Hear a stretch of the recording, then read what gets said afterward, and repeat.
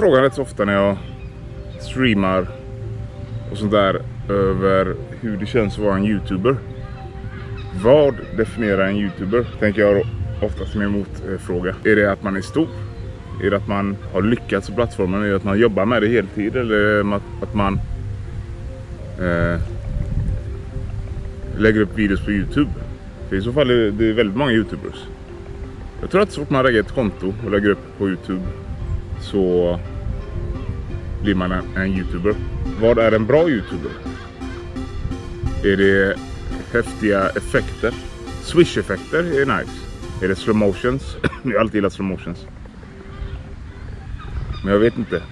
Vad definierar en youtuber? Är jag en youtuber? Ja det är väl. Det är väl.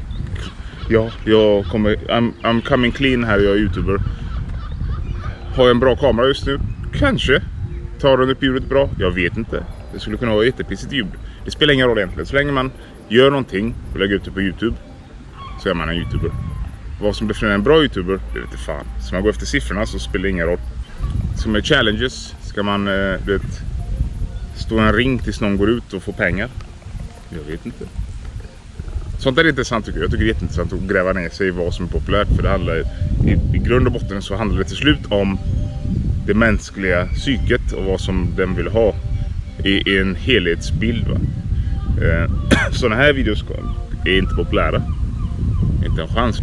Vet, ingen vill höra på någon som eh, typ är lite nihilistisk som jag är kanske. Och nihilism är ganska intressant. För er som eh, inte vet vad nihilism är så är det typ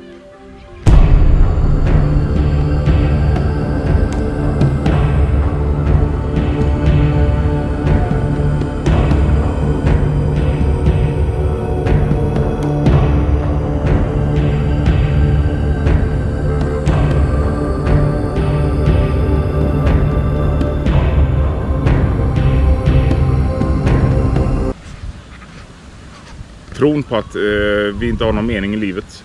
Att vi bara är en slump. Och eh, det finns ingen gud, det finns ingenting. Vi är bara blott. Ni ser, jag har säkert tappat flera redan nu. Det folk vill se är...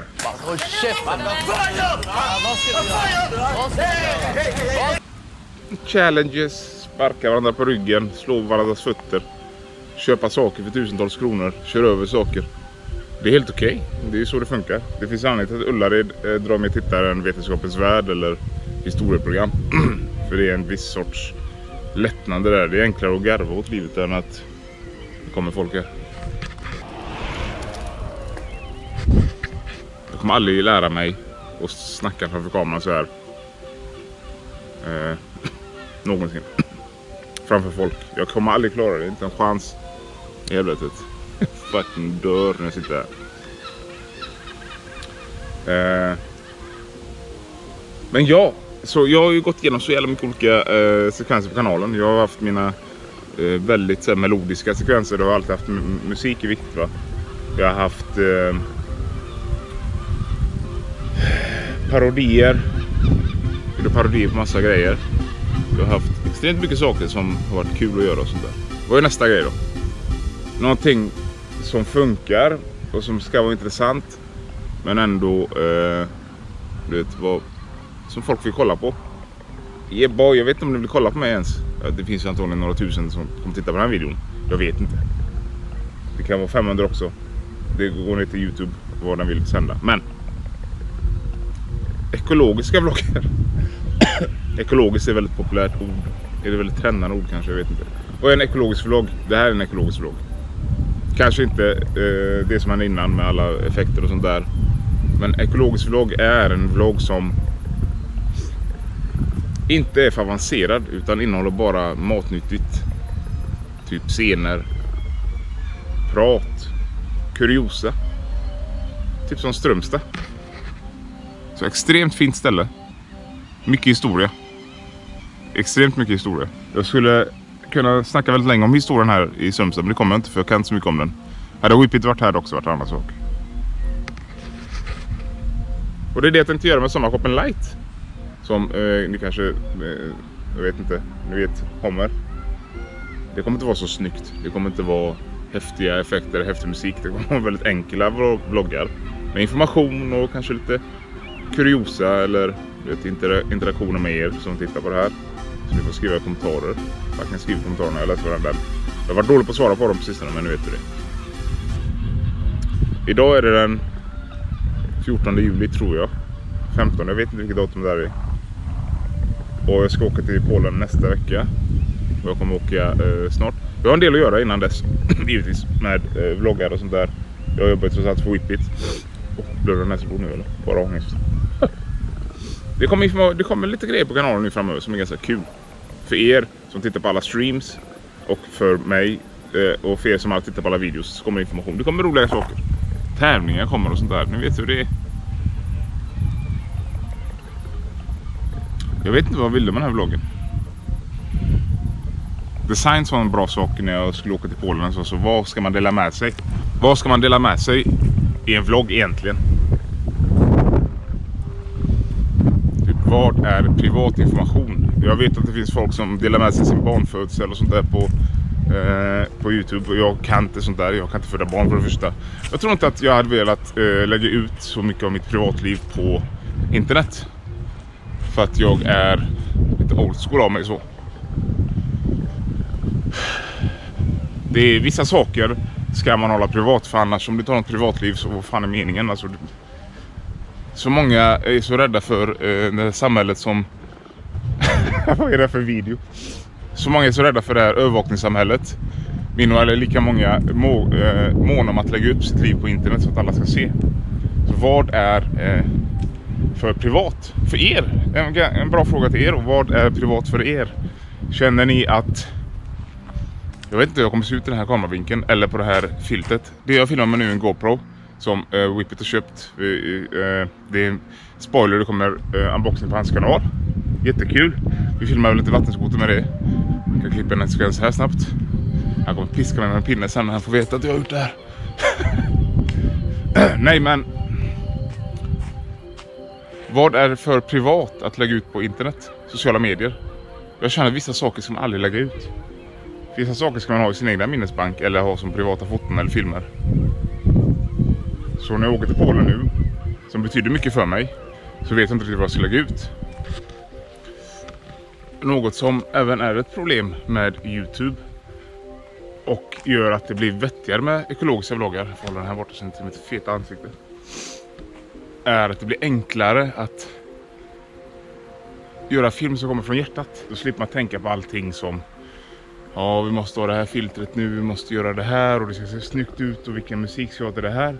Jag finner alltid att de här vloggarna är så enkla att göra för att de är eh, bara råa. Jag gillar dem. De här mobil... Eh, jag måste kolla runt nu. De här mobil vloggarna jag har gjort innan har varit så jävla enkla. För tar upp kameran och så filmar bara och pratar. Och jag har sett att det finns ett sug efter det och jag är glad för det för att det betyder att min sommarkopp inte kommer vara så fucking jobbig att göra. Att jag kan redigera den on the go, lägga upp den för att någonting som ni förstår och som eh, många av er säkert vet att ni måste uppdatera ert content på Youtube om ni ska kunna jobba med Youtube. Ni kan inte köra samma sak hela tiden. Alla har delar i sitt liv som är annorlunda. Eller delar av sin kanal som är annorlunda snarare.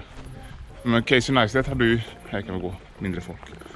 Casey Neistat hade ju eh, sina grejer för sig, timelapses och sånt där. Sen så bytte han, han bytte.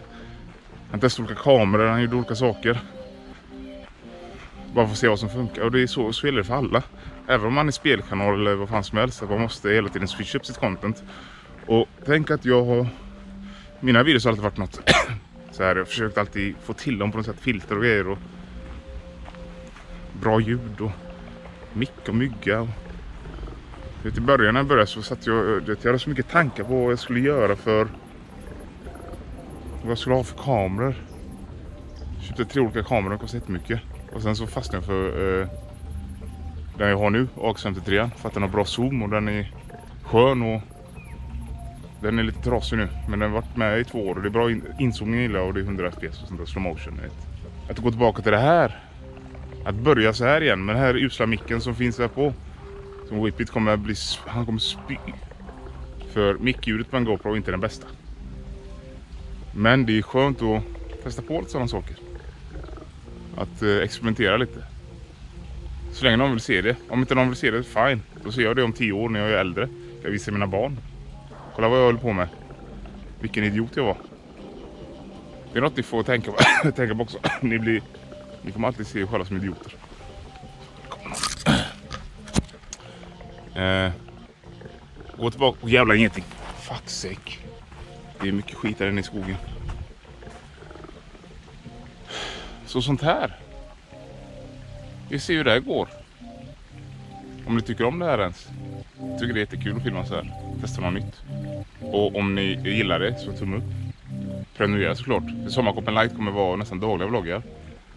Så kommer redigeras på plats och jag kommer prata om det som jag känner funkar. Som design så se det som att du pratar med en psykolog. Fast klipp bort det du inte vill ha med. För livet är eh, fullt av eh, olika saker. Kärlek. Eh, ilska, hat. Fucking ångest. Men i slutändan så är det faktiskt helt vackert. Livet. Fan vilken jävla video. Det blir ingen challenge stå i en ring här. Det här blir bara en ekologisk vlogg. Yeah boy, till och med jag gillar inte att vara så här eh, filosofisk. Eller du vet så här djup. Dark, deep dark. Jag tänkte ta en promenad nu. Jag har tagit en promenad när jag filmat det här. Någonting som aldrig är fel i musik. Vi kan få lite musik i alla fall. Det är det minsta jag kan göra när det kommer till sånt där. Det kommer jag aldrig sluta med. Förvisso musiken. Inte att skapa musik för det kan jag inte. Jag kan absolut inte sjunga. Jag kan absolut inte sjunga. Tiotusen röda rosor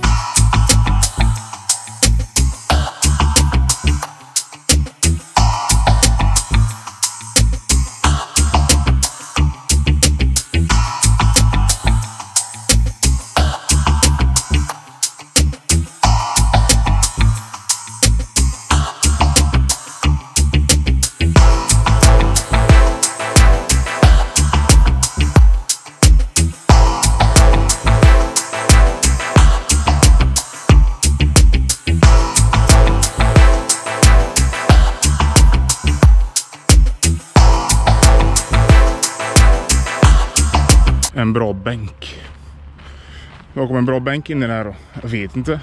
Jag har tänkt på det. Hur många som underskattar en bra bänk. En bra bänk kan jämföras med en defragmentation på hårddisken. Sånt man gjorde förr med sina datorer för att